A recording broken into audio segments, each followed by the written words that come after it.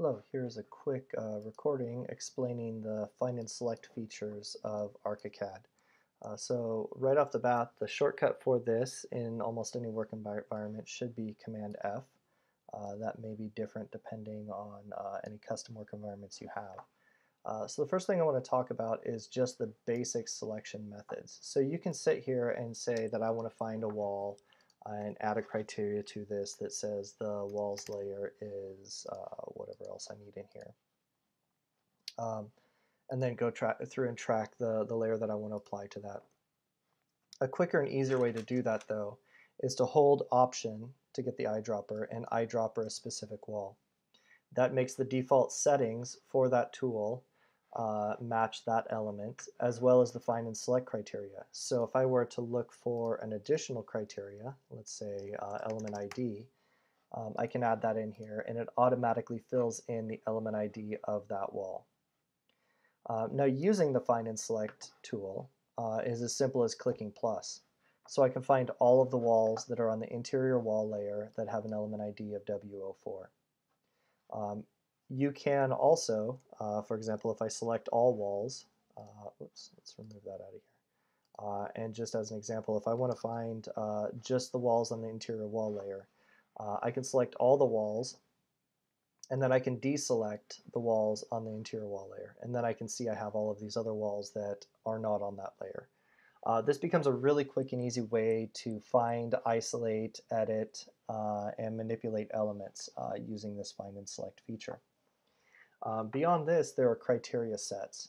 Um, and in a teamwork file, there's two types of criteria sets. There's the built-in criteria sets um, and the public criteria sets. Uh, you can you can have individual criteria sets as well, uh, depending on how they're stored. Um, and uh, you can import and export criteria sets between different files.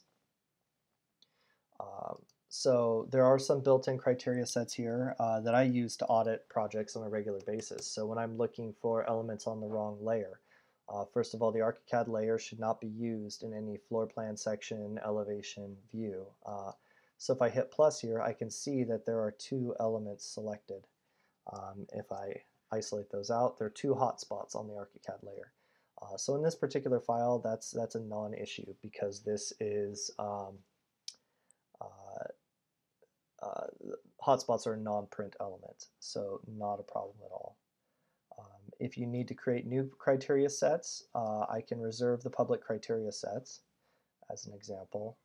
Uh, and then if I wanted to, um, say I want to find walls that are on the interior wall layer, uh, I can set that up as a criteria and say store as, and I can put it in my criteria set that's specific to my local data. So when I leave the project, that stuff goes away or I can put it in the public sets. Uh, we do want to name that something that makes sense with the naming conventions in here. Um, these seem kind of scattered, they're not in order here. Um, but you can see I already have a walls interior here, so I can override that criteria set if I need to. Uh, and then once I do a send and receive, that criteria set, uh, the walls interior, is going to be available to everybody in the project. Um, uh, there, there's a lot of different ways to uh, use this find and select tool to quickly isolate things out.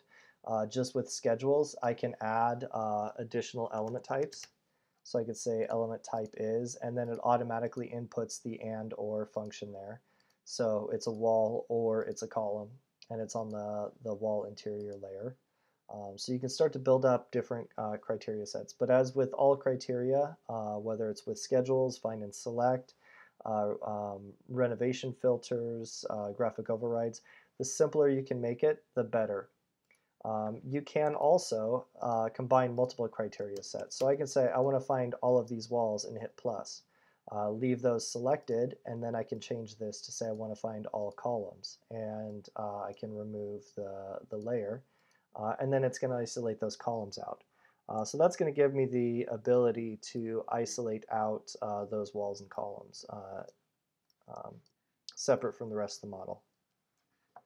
Um, I hope this helps and uh, encourages you to start exploring the Find and Select tool to uh, improve your efficiency in ArchiCAD.